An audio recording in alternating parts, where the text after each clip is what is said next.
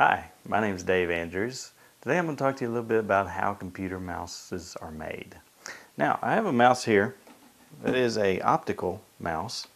And the way that you can tell quickest about whether or not a mouse is an optical mouse or a mechanical mouse is if it has a little red laser light down here at the very bottom.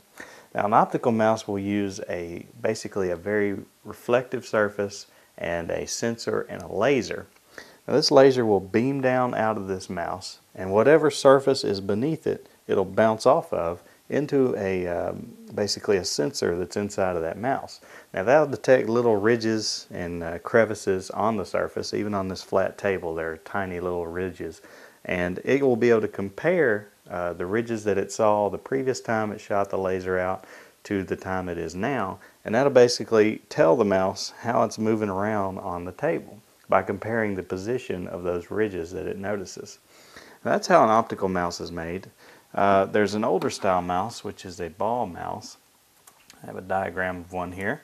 Uh, a ball mouse uh, inside basically has this little ball right here, and you can tell if you pick it up and look at the bottom, you'll see the ball protruding out of the bottom. Now, that, that ball will roll as you move the mouse around. And inside of the mouse, you have little uh, axis wheels right here. There's two of them.